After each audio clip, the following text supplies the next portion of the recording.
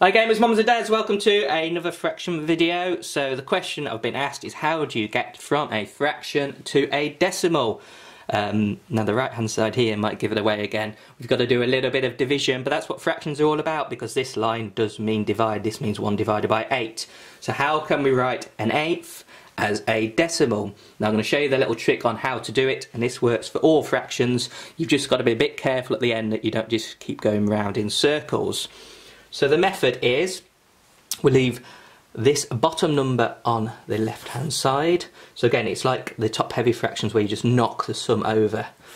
So we're just going to knock the 1 that way. So we write 1 here. Now what we need to do is put a decimal point there and then a load of zeros. This could go on forever, but we'll just stop for there for now.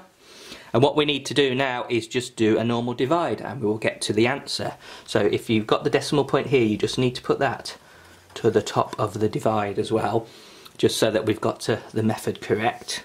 So we've knocked the fraction over, 8 dividing into 1, which is this, and we've got dot 0, 0, 0, 0, 0, and we've put the dot there. Now, as we know with most divides, the first one is pretty much a 0, so 8 into 1 doesn't go, so it goes 0 times, and we've got 1 left over so we move the 1 to there. So now we've got 8 dividing into 10 so again going down our long division chart we go once is 8 uh, we can't go any further so we put a 1 up here and we've got 2 left over 8, 9, 10 so we pop a little 2 there. So now we're looking at 8 into 20 so we go down, we've got 2 is 16 but we can't go any further so we put a 2 here 16, 17, 18, 19, 20. So it's 4 left over, so we put a little 4 there. So now we're looking at 8 into 40. We go down here. Brilliant, bang on. 8 into 40 is 5. Now we have no more remainder. So this is where we stop. We don't put any more because if we did, it'd be remainder naught. 8 into naught is naught, 8 into naught is naught, 8 into naught is naught. And you don't put the zeros at the end of a decimal. So as soon as you get to the right, uh, no remainder, down here, then that's where you finish. So we've got an eighth equals 0.125, which if you do 1 divided by 8 into your calculator, it should come up with 0.125, and that is correct. So just quickly to re re review the method again, if we had 2 fifths, let's say, I'm not going to write out this because it's a 5 times table, which hopefully uh, you've all got off by heart. So again, we're knocking the 2 over, so we're doing 5 on the left hand side and on the right we've got this 2 there. So this is the fraction and then for the method you put a full stop or decimal point and lots of zeros and then you put the full stop here. How many times does 5 go into 2 it doesn't. No times but we've got 2 left over. So we pop a 2 there. 5 into 20 5 10 15 20 4 times so we write it 4 and it's exactly 4 so we stop 2 fifths equals 0.4.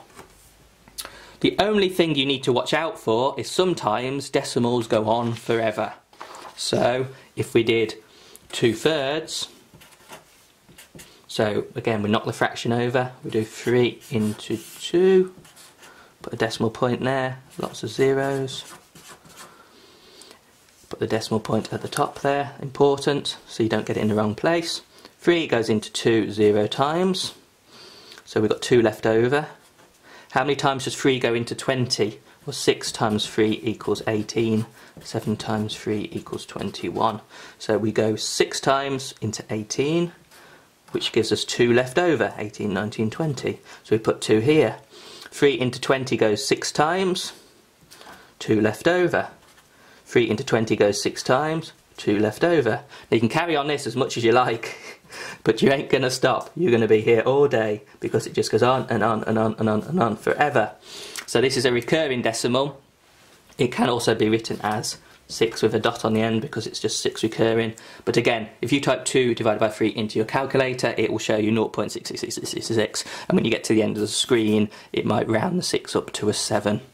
But this is how we do it. Now, some more complicated fractions might not just be 1. Uh, try Give this a go at home, 1 over 7, and see what you come up with. This again rotates, but it takes 4 or 5 digits before you go round and round in circles. I'll leave that one up to you. But how to convert a fraction into a decimal is quite simple. Knock the fraction over and then just do long divide. Just remember to put the dot up there so you can see what the decimal is. If a top is smaller than the bottom, which is for most fractions, you'll always get 0 point something like that. Right, so we've gone from fraction to decimal, so how do we get from decimal to fraction? And it's one of our friends again, and it's simplify. So for the method, from decimal to fraction, you just want to do a bit of simplification. So we had our eighth before, but let's write it as we have as a decimal, and we want to turn this into a fraction. So what is the method? Well, what you want to do is you want to take the decimal point from the right hand side. So we go from here, 125, and you write that on the top of your fraction.